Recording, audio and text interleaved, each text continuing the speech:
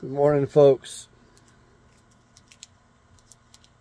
It's the 23rd of December, and we were promised by the evil ones a, a surprise.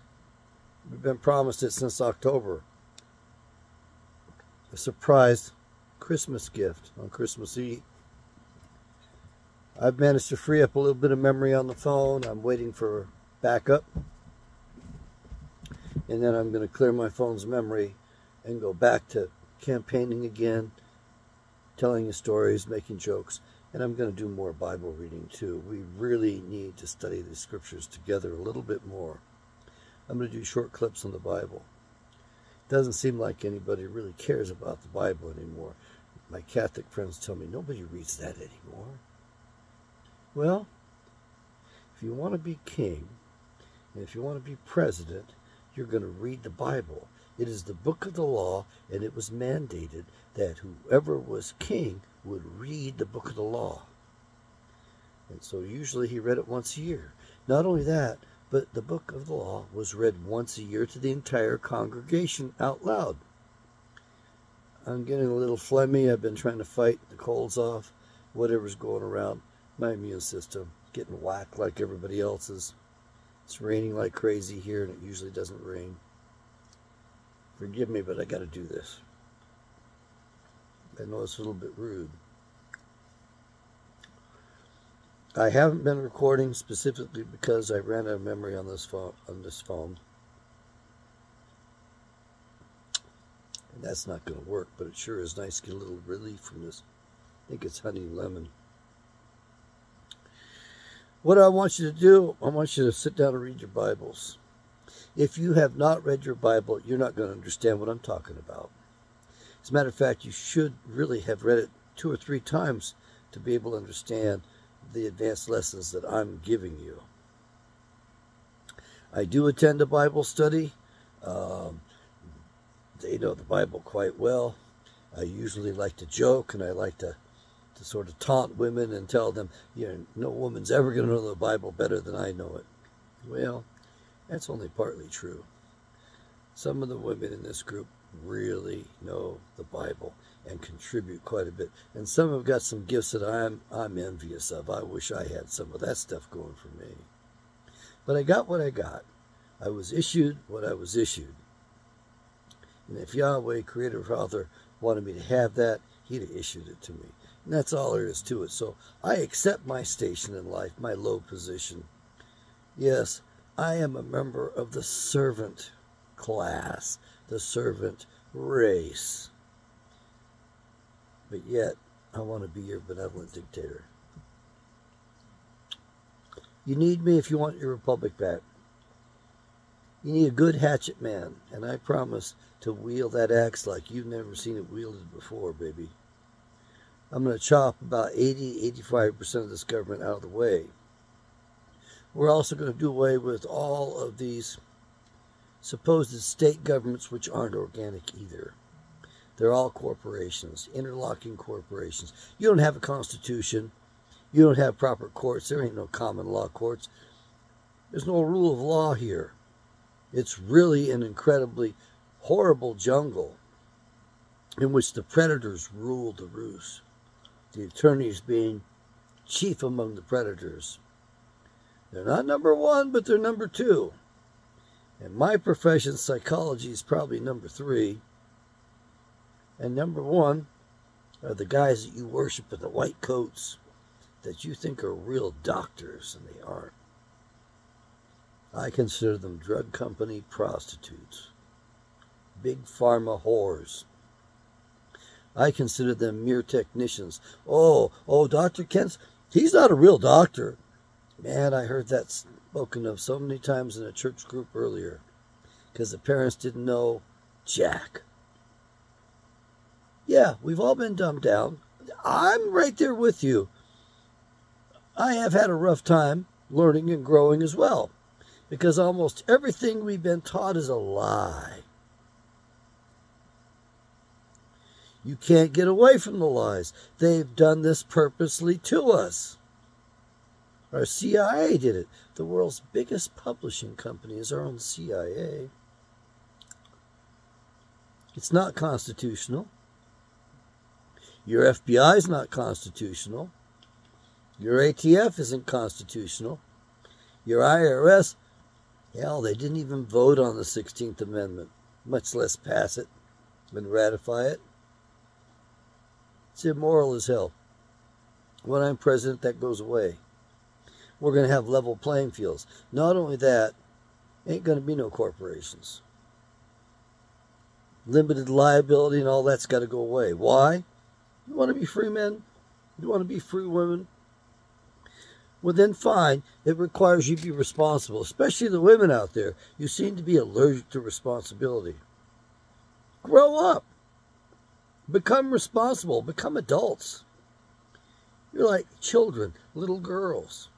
You refused to be responsible. Oh, you're going to blame the men because Adam was to blame. Baby, I got news for you.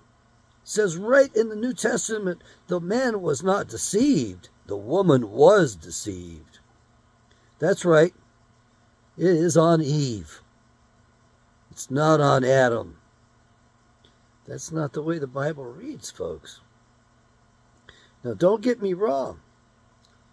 The way we read the Bible is Eve screwed up, and Adam loved his wife so much he couldn't stand to live without her.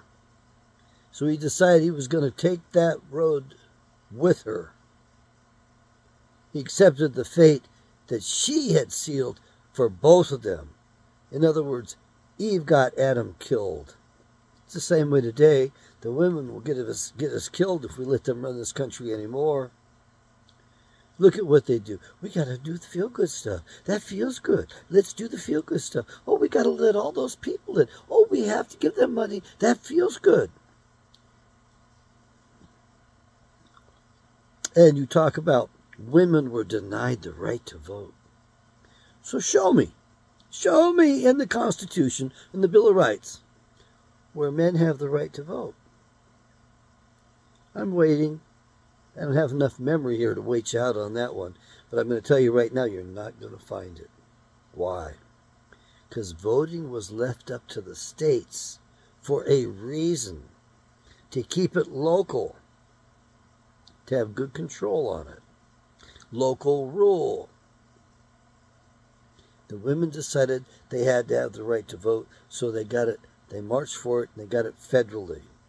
And once they did that, they screwed things up. What's the first thing they did? They took away the booze. Yeah, that's right. They took away alcohol.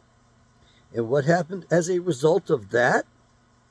Well, you had organized crime, bootlegging, and your government actually poisoned the people. That's right, they poisoned the alcohol and killed people. So if you think your government's not willing to kill you, just look at their past history and then ultimately gave rise to the most organized crime of all an unconstitutional law enforcement agency, which is now your Stasi, your secret police, your deep state, which, as that black gentleman said in Africa, is Israel. I just can't believe, but he called it, he calls it right. Now, does he have it perfect? Not quite.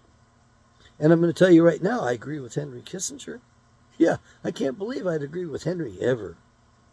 Henry said something very wise, but a bit cryptic. He said, in order for there to be world peace, Israel would have to cease being a nation. I agree with Henry, except what does Henry mean when he says Israel? Who is Israel? In Henry's eyes, who is Israel? What is Israel? Answer me that. This is helping, so I'm going to stick with it. Sorry about that. Do you really want your nation back? Do you want to live? Do you want to survive? Do you want your children to survive? You have genocidal maniacs running your country and the world and you take it. Who started the recent genocide? President Chump. That's what I call him, Chump. C H U M P. Why? He started that crap. He was the one that ushered that stuff in. This first go around, or first part of the first go around, they killed a billion people. I'm just taking a good guess. It's hard to find out because we don't have good stats. We're not allowed to know any of the truth. You trust this media to report something? You trust the universities to teach the truth? Look, when I'm president, this public education goes by the wayside. The centralized public education is gone. There's no cabinet seat anymore. There's no financing, no funds for publication, public education from the central government whatsoever. There's no student loans, no grants. Why? Do you look at look at the product? Look at the results. Do you trust those people with your children? If you do, you're an idiot. You're an imbecile. You're dumber than anything I've seen. So you take the, the free way out, the cheap way out. Costs you your whole country. Costs you everything you have. Yeah. Don't go for anything that's free. I know, I promised free stuff in a couple of videos just a little bit ago. It's not quite free. I said free battle rifles. That's what we give to our militia members. We're going to issue them just like they do in Switzerland. You're going to get that rifle for your life. You're required to maintain it. That's right. And you are going to get trained on it and you will be a member of the militia in good standing, or by God, we're going to take it away from you. Yeah.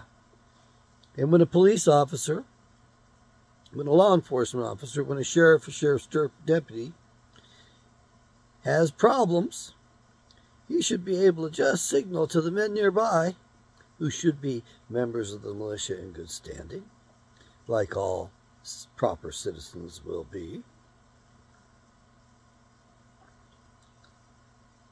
and they should assist him on the spot.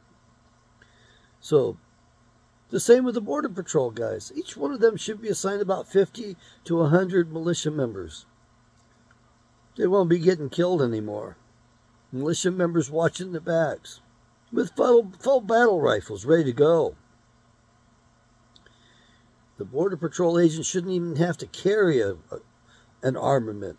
He should have one on himself but he shouldn't need it because there should be enough men backing up with guns in their hands ready that there's no flag. Oh, and I heard a wonderful idea on the radio today. Now, I had the idea quite a while back myself. But the, uh, the talk show host belittled the fellow who was retiring from the Space Force. He belittled him. Why is that? If anybody's syndicated, the CIA Mockingbird. You can't be syndicated without having the government stamp of approval.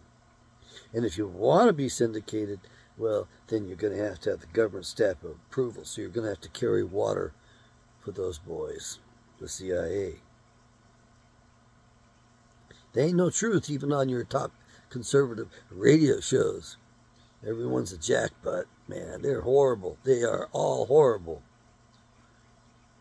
So, as president, I would go to my Congress and say, I want you to declare a limited war with Mexico.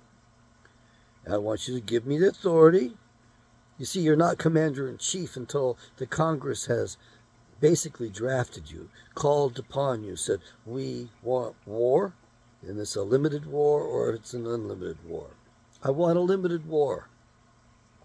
I just want special forces and I want my army. Special forces is going to go down there and clean up the cartel mess, take out the trash, and even go after some of their corrupt politicians. And then the army is going to go down and occupy Mexico. We don't need a wall. We'll just use the whole country. And we're also going to take the land that runs directly straight off the border the bottom of Arizona straight across. We're going to take all that land from Mexico as a buffer zone. Mexico wanted to sell that to us a long time ago, but our Congress was a bunch of dumbasses. They wouldn't seal the deal. They wouldn't pay Mexico and buy the land that was offered when they should have done it. Arizona was would have had a port state, port city rather already. And we're going to get that. We're going to take it. Yeah, the cost of administering in Mexico is going to be expensive. So our army needs to be compensated. So we will take that. Also, we will develop Mexico's oil resources for them. We'll put them to work. We'll pay their laborers properly. And we will build a pipeline from central Mexico up to that newly found port city just south of Yuma on the Sea of Cortez on the new part of America. Yeah, we're going to build a refinery. We're going to build the best refinery in the world there. Well, it'll happen. And we don't need to build a wall. That was a sucker move. What, you think that the wall's going to help you? the Berlin Wall. What do you think they told those people over there? Come on, folks. It doesn't